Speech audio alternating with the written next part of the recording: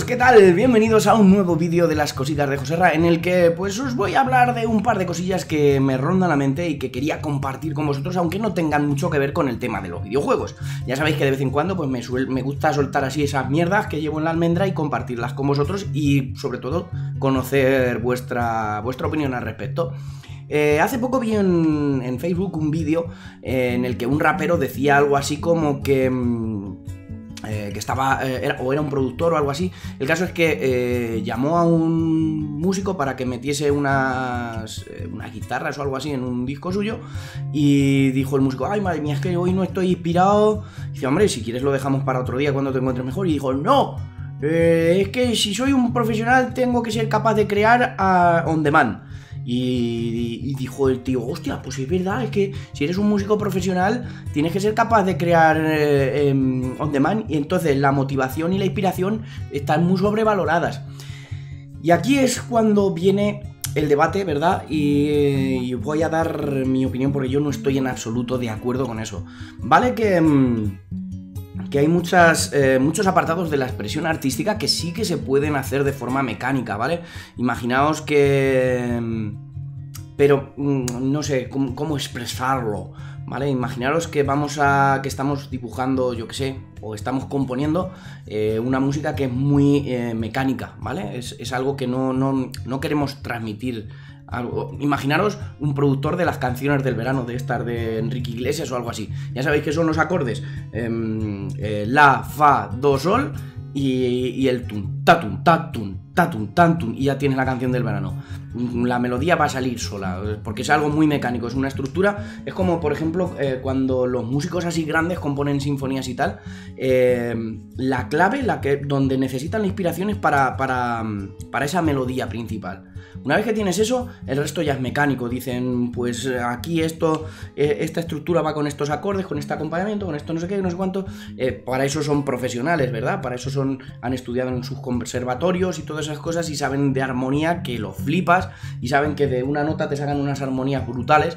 Pero el tema está en que en ese caso tienes que salir, como os digo, de una idea concisa, de una, de una melodía, de un algo. esa melodía es la que sí que necesitas la inspiración. Si quieres transmitir algo, si realmente quieres transmitir algo, si quieres em, volcar tus sentimientos en, en una letra, en una canción, en un libro, en una historia, tienes que hacerlo. O sea, tienes, tienes que estar inspirado, no te vale hacerlo de forma mecánica y, esa es, eh, como os digo, es la principal diferencia entre la música de, mm, de esta comercial, la típica que se va haciendo a cholón, en forma prácticamente industrial, que, es eh, prefabricada, que, no, tiene, no tiene sentimiento ninguno, que es simplemente pues lo que quieren los borregos y chimpún. Eh, una música más elaborada en la que quieres volcar sentimientos, aunque esté incluso, aunque no significa eh, que esté más elaborada ni siquiera, aunque sea una música súper sencilla, pero que tenga sentimiento, para eso necesitas inspiración, para eso necesitas motivación. Y, es, vamos, así es como lo veo yo, ¿vale? Eh, tampoco estoy diciendo que, claro, si tienes inspiración, no tienes que trabajar eh, prácticamente en tu música o en tu expresión artística, como sea. Eh, no, no, no, yo no digo eso ni mucho menos, ni mucho menos, ni mucho menos. y por eso es una de las cosas que están muy infravaloradas del tema artístico. Si eres dibujante, y quieres, pues eso, quieres progresar o quieres que te llegue esa chispa que necesitas en un momento, pues necesitas dibujar todos los días. Si eres músico, necesitas tocar todos los días. Eh, experimentar. Mm, no. Yo, mira, eh, ahora mismo, mira, tengo aquí. Ahí va. Tenía el teclado en modo, en modo batería porque he estado probando unos ritmos. Pero tengo el teclado encendido, tengo el teclado ahí a mano, el teclado musical, y, puedo, puedo ponerme en cualquier instante que, tenga un este, ponerme a, tocar. Aunque no lo grabe, aunque no me sirve para nada, aunque me olvide el otro día. Pero cuando, cuando tienes una relación con una expresión artística, eh, tienes que mimarla, tienes que regarla todos los días. Eh, hace poco se me, se me, ocurrió al respecto un símil que creo que es bastante, bastante bueno. Un trabajo normal mecánico, ¿vale? Eh, incluso aunque sea del ámbito artístico, pero que sea mecánico, como os digo, pues, eh, eh, pues de componer la música esta industrial o, hacer, yo que sé, un retrato que es más, más mecánico, ¿verdad? Que es, es calcar lo que es realmente. Mm, o escribir, yo que sé, una, una columna de, un, review o alguna cosa de eso. O grabar un vídeo de YouTube, que, que para esto también se puede, se puede, se puede aplicar. Eh, hay veces que grabas vídeos pues que son prácticamente mecánicos. A mí me pasa, ¿no? Que, los de los gameplay, sobre todo. Este, por ejemplo, no, este es más artístico. ¿Verdad? Estoy, más interactuando, sacando mi visceralidad. Eh, pues ese trabajo mecánico sería como, por ejemplo, construir un muro, ¿vale? O, mm, vas construyendo un, muro que vas poniendo ladrillo, ladrillo, ladrillo, ladrillo. Y es, mecánico, vas poniendo ladrillo y lo vas poniendo eh, cemento, ladrillo, cemento, ladrillo, cemento, ladrillo. Es, mecánico y sabes que es así y, vas a tener el muro que va creciendo porque, porque le vas metiendo el este. el arte en cuanto a, mm, a una obra que sí que quieras expresar eh, sí que requiere ciertos cuidados, ciertos mimos. Sería más como una planta, ¿vale? Eh, que si quieres que florezca, que, esté en su este, tiene que tener unas condiciones de luz, unas condiciones de agua, unas condiciones, pues eso, de, cuidados, de, cosas así que tienes que, cuidar y que me... Y, por ejemplo, sería eh, como si estuviésemos cavando para, para, para encontrar petróleo, ¿vale? Pues esa, esa idea, mm, esa melodía, ese ese, mm, ese libro, esa historia, pues eso, la idea mágica del arte que estamos esperando está ahí oculta. Hay veces que pues a lo mejor excavas un momentillo y has dado en la beta donde está lo que, lo que necesitabas encontrar. Eh, hay otros días que a lo mejor te tiras una semana excavando y, pasas al lado, pero no, no consigues encontrar esa, esa beta que... Entonces, em, mi, consejo es pues seguir excavando, ya sea, ya os digo, musicalmente, en, vídeos de YouTube, por ejemplo, hay veces que no te apetece grabar, que no estás de humor para grabar. Y, esto que lo hacemos, eh, pues igual que, por ejemplo, yo la música que lo hago también de forma amateur, por, pasión, por, por, eh, por hobby, por, pues eso, porque me gusta, los vídeos también los hago porque me gustan, y hay veces que a lo mejor pues estás cansado o tiene, y no te apetece grabar tanto y se nota, se nota que no te apetece grabar y, ¿qué vas a hacer? ¿Un chuzo? Como os digo, por ejemplo, los gameplays es más... Mm, más tolerable, ¿verdad? Porque al fin y al cabo estás jugando al juego, que hagas más o menos comentarios, pues puede mejorar o no el, vídeo, pero el vídeo va a quedar visible. Pero en cuanto a la música y tal, no. No estoy diciendo que, mm, pues eso, que, que los músicos tengan que estar motivados e inspirados todos, eh, todos los momentos de su vida.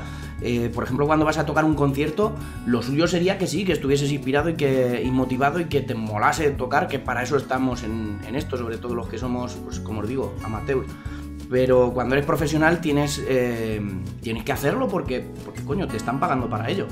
Y a lo mejor pues no te apetece estar tocando, pero no es lo mismo pues eso, subirte a tocar unos temas que ya están hechos, que tú llevas ya preparados, que has estado ensayando durante años, o meses, o semanas, o días.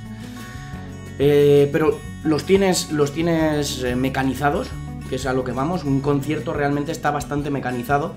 Eh, tienes evidentemente mucho, mucho margen para improvisar y para, mm, para interactuar con el público o expresarte con el público, pero un concierto alto nivel, ¿vosotros creéis que están motivados cada vez que dan un concierto, pues eso, Bon Jovi, los Rolling o em, los Maiden? Pues habrá días que sí, habrá días que no, habrán días que se llevan mal y no les apetece tocar porque están de mala hostia, pero, pero salen a tocar y ni se les nota, porque son profesionales. Y es que es eso, pero cuando van a crear un tema conjunto, pues ahí sí que necesitarían esa chispa, ¿no? esa inspiración. Eh, pero bueno, no, por ejemplo, cuando van a firmar discos y cosas así, ¿vosotros creéis que están tan a gusto siempre como firmando los discos ahí? Quiero decir que, a ver, que, están para ellos y, muchos, sobre todo los, españoles con los que he tenido el placer de coincidir muchas veces, eh, te dicen que lo hacen encantados, que dice, ¿cómo? ¿Cómo no? me voy a quedar en eso, aunque, aunque esté hecho polvo, aunque no me apetezca una mierda, pero ¿cómo no, no voy a, firmar hasta el último disco que me, que los españoles del rock y del metal, ¿eh? Porque del pop no... Eso hay que darles de comer aparte, esas estrellitas. ¿Vale? Em, dicen, ¿cómo no voy a quedarme hasta el último momento firmando este, el último disco cuando, cuando hay gente que se ha recorrido kilómetros y kilómetros solo para estar aquí y, que, les hace más ilusión que... Pues esa, ese es el espíritu el, seguir adelante eh, aunque no te apetezca, porque es tu obligación, y, que ahí no tiene nada que ver la, motivación, eh, la motivación y la inspiración, pero hay ámbitos que, sí que es necesario. No puedes, no puedes em, estar en un ámbito artístico y no tener inspiración o motivación, porque entonces te saldrá algo mecánico, no te saldrá nada especial. Es lo que, es lo que dice la gente cuando, oh, es que la música está ya todo hecho. Pues, pues no, si, también estaba hecho en los 50 y mira cómo ha ido evolucionando el tema, ¿verdad? Siempre hay, que, tener esa, esa imaginación, esa, esa chispa, esa creatividad, que, eso no es, ni se estudia, ni se... ni, ni, Entrenarse se puede entrenar, o, mejor dicho, si, tú practicas todos los días, puede que llegue un día en el que se te ocurra, llegues excavando todos los días, llegues a algún día a la beta esa que estás buscando. Pero si no excavas... Pero bueno, hasta aquí el vídeo, espero que no os haya resultado muy cansino, ponedme en los comentarios qué os parece a vosotros, ¿creéis que es necesaria la, la creatividad para estos entornos artísticos o creéis que está sobrevalorada? Hace, hace un tiempo también vi otro vídeo en el que decía que mm, a los niños en las escuelas y tal habría que enseñarles a, motivarse, que, la clave era que tenían que estar motivados constantemente, eh, ilusionados y tal, y, le contestaba a alguien que, no, que, cómo, vamos a enseñar a, a, las futuras generaciones que solo pueden, tienen que trabajar o solo tienen que hacer las cosas cuando estén motivados. Lo idóneo lo, perfecto sería que tu trabajo te apasionase y siempre te, ganas de hacer tu trabajo. Pero hay cosas que vas a tener que hacer, te apasionen o no, te gusten o no, y estés motivado o no a hacerlas. Y hay que hacerlas, porque hay que hacerlas. O sea... Mm, es que ah, no, me voy a poner aquí filosófico o a dar lecciones de moralidad, ni, ni mucho menos. Pero, pero es cierto que hay cosas que tienes que hacer con y sin motivación.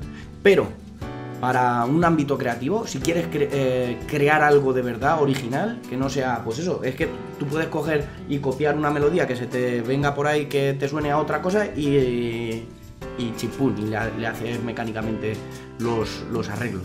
Pero no, no, sería, no sería tuyo, ¿verdad? No sería tuyo. En fin, que bueno, que ponerme a vosotros en los comentarios qué os parece. ¿Es necesaria la inspiración o pensáis que está sobrevalorada también? Eh, os dejo esto, a ver si llego, ahí está. Que ya sabéis, ahí tenéis mis redes sociales, mi Patreon, que estoy pensando incluso en alguno de... en empezar a, meter cosillas así de música también, de las que voy haciendo con Cubase y cosas así para, los Patreons, para, pues eso, para si queréis colaborar, hacer un este también.